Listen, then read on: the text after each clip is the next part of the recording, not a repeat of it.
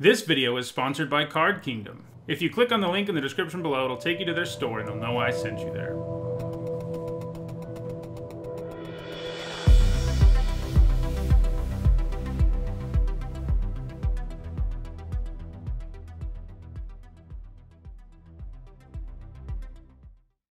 Hi everyone, I'm Nizzahon, and it's Wednesday, so that means it's time for another MTG Top 10, the series where I rank cards based on their historical performance at Magic's highest level of competition. Today's video is actually one that was suggested in the comments sections of another MTG Top 10, where Jan Shevik posted, It'd be very interesting to see which creatures printed in first sets held to this day, and I had to agree with that. Alpha was Magic's very first set, and while the set is renowned for having some insanely overpowered cards, like the Power 9, the creatures in the set overall are pretty anemic, at least when compared to today. People often talk about power creep in Magic, but it is something that mostly only refers to creatures which have gotten stronger and stronger over the years. Non creature stuff has actually been significantly powered down on average, at least when compared to Alpha. So, looking at what the best creatures around were in the very early days of the game, at a time when creatures weren't especially good, seems like a good idea for a list. In all, 92 creatures were in Alpha, and in this video we'll talk about the 10 that have left the biggest impact on competitive Magic history. Before we get started, here's a quick reminder on how I score cards in these videos. A Pro Tour, Players Tour, Mythic Championship, Mythic Invitational, or Legacy or Vintage Championship top 8 is worth 2 points, and a top 8 at a Grand Prix or Magic Fest is worth 1 point. Alright, let's get to the list. At number 10, it is Ironclaw Orcs. That's right, this list begins with a 2 mana 2 2 with Downside. That's something that would never happen in today's game, but back in the early days of competitive Magic, colors that weren't green just didn't get vanilla 2 mana 2 2s that only cost one generic and one colored mana.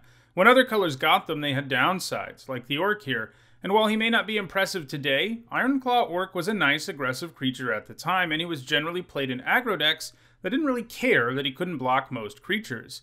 When you really think about it, the downside isn't that big either, as you generally only want to block things that the orc could trade with anyway. It basically just means it can't chump block, and that's something that you only do when you have no other choice.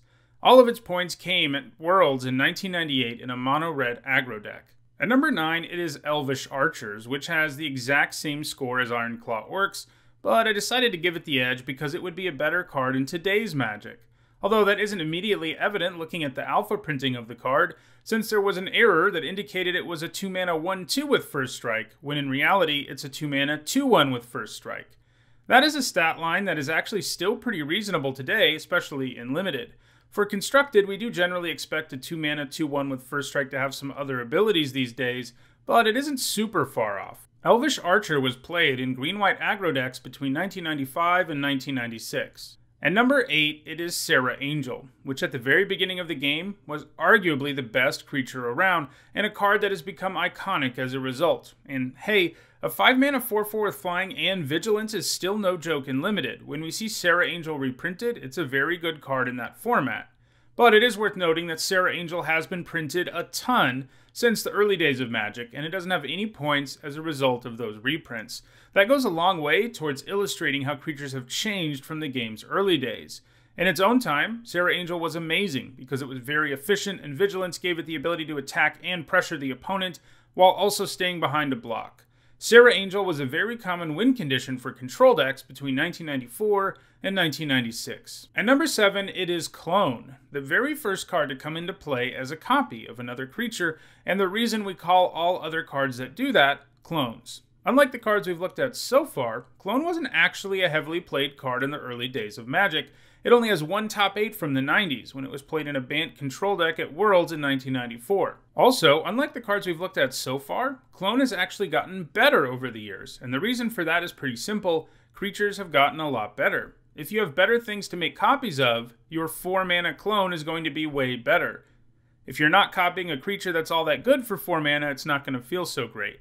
It was played a lot in the standard of 2011 and 2012, where it was featured in a variety of blue white decks, including mid range, flash, and control varieties. At number 6, it is Sengir Vampire. Like Serra Angel, Sengir Vampire is an iconic card that was a super efficient creature in the game's early days, and it has received a lot of reprints over the last couple of decades without a whole lot to show for it. It trades in Vigilance for the ability to gain a plus one plus one counter anytime something it does damage to dies. Also, like the Angel, it was mostly played as a win condition in control decks. In addition to putting up points in the standard of 1995 and 1996, it also made the top 8 of Pro Tour Rome in 1998, where it was played in a Necropotence control deck as one of its win conditions. At number 5, I have two cards, because they are really two sides of the same coin, Black Knight and White Knight. These two started a long and ongoing tradition of white and black each receiving mirror image knights in the same set. White Knight is the legitimate number 5, and Black Knight would have been number 6 if I gave it its own slot. Both of these are very efficient creatures, even by today's standards. Both cost 2 colored mana and are 2 2s and have first strike and have protection from the enemy color. If the metagame was right, these knights would actually have the potential to be played in today's game, at least in the sideboard, although it would be necessary for the color it has protection from to be a really dominant one. In fact, White Knight actually has a few points outside of the 90s, coming in aggro decks and standard between 2009 and 2010, and that's what really enables it to edge out Black Knight. Over the years, White Knight has been played in white aggro decks, while Black Knight has more frequently been featured in control decks, and pretty much only between 1996 and 1997. At number 4 is Hypnotic Spectre, which has been on a whole bunch of my MTG top 10s of late. In Magic's early days, Hypnotic Spectre was a highly efficient flyer that could disrupt the opponent's gameplay thanks to the random discard effect. Plus, you could combine it with Dark Ritual to play the Spectre on turn 1, something that is pretty hard for your opponent to overcome if they don't quickly find some removal. Like White Knight, Hypnotic Spectre has been reprinted, and actually has some points to show for it. Both times it was legal and standard, it saw significant play. Its first time through, it saw play in both aggro and control decks. The second time it was played in aggro and mid-range decks. It also gained a couple of points in legacy mono black aggro. It doesn't have any points since 2007, and it's another interesting card to think about in today's game. If it was reprinted, I don't think it would see that much play. These days, a card has to do something upon entering the battlefield to be worth it, and a 2 2 for 3 mana that needs to attack at least once to have an effect just doesn't cut it anymore, unless you give it haste. I think it's an interesting comparison to talk about Rankle, Master of Pranks, alongside Hypnotic Spectre. Rankle sees play in competitive formats, but a lot had to be done to make that happen. Sure, it costs one more mana, but it's also larger, it has haste, and it gives you multiple choices of effects to choose. And yes, they're symmetrical, but Rankle's ability to disrupt the game immediately is what makes it better than Hypnotic Spectre in today's game. At number 3, it is Savannah Lions, a vanilla 1 mana 2 1. At the time of Alpha, Savannah Lions was the only 1 mana creature with 2 power and no downside, and that was true for a lot longer than just Alpha and that made it very attractive for aggro decks for much of the first 12 years of Magic. This is another card, though, where it's pretty easy for us to see creature power creep, since we get 1 mana 2 1s with upside on a pretty regular basis these days, with most sets having at least one of them. The Lions, though, are another card that was able to take advantage of being reprinted. In Standard, the first time around, it was played in Armageddon aggro decks. After its reprint in 2006, it was played in Zoo and Boros aggro decks in Standard, and it was also played in Extended as a result of reprints. The first time it was played in Boros aggro decks, and the second time it was played in Zoo. Savannah Lions is highly unlikely to ever gain any more points because 1 mana 2 1s with upside, as I said, are becoming increasingly common. The only way it might happen is with a future reprint in a standard, that doesn't already have a couple of good 1 mana 2 1 creatures. At number 2, it is Lord of Atlantis. So it took us all the way until number 2 to find a card that's actually still played in competitive Magic today, and that tells you a lot about Alpha's creatures. This Merfolk Lord pumps all your Merfolk while also granting them Island Walk. It's important to note that most Lords in this game that grant plus 1 plus 1 and a Land Walk ability cost 3 mana, while Lord of Atlantis only costs 2, and that's a great deal because he tends to add a bunch of damage to the board for that very low cost. Lord of Atlantis helped spawn the first successful tribal deck in competitive Magic history when it appeared in a mono blue fish deck in the top 8 of the extended Pro Tour in 1998. Ever since then, it's been a staple in Merfolk decks across pretty much every format in this game. And at number 1, I've included two cards, Birds of Paradise and Llanowar Elves. Both of them are mana dorks that have been heavily played since day one, and I thought including them together would allow us to talk about some of the more obscure creatures from Alpha. One mana creatures that can tap for mana are great because they allow you to get ahead of your opponent on mana, which of course means you will generally be able to cast more powerful spells before they can.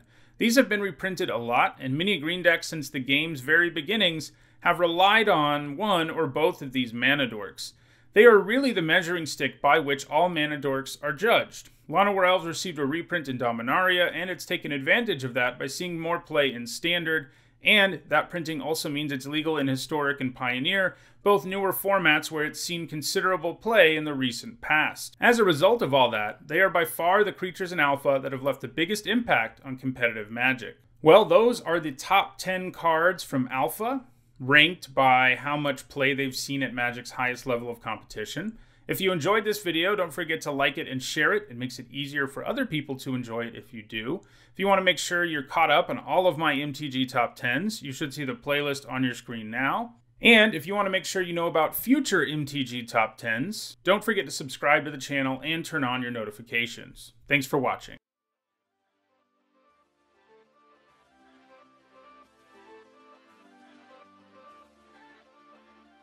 Mm-hmm.